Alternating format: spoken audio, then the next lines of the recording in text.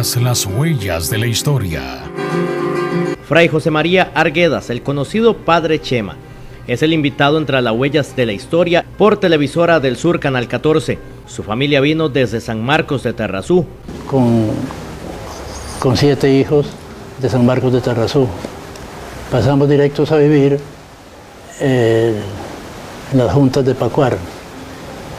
Pero ahí se enfermaron muchos, los muchachos, los hijos que traían, y, y tomaron ellos la decisión de venirse a, a vivir un tiempo a Palmares. El sueño de ser sacerdote y compartirlo con su madre hace estremecer su corazón. Más rápido que pude, vine y le dije a mi mamá que estaba en la casa de una hija de ella, aquí en Barrio Sinaí. A decirle, mamá, mamá, ya soy sacerdote.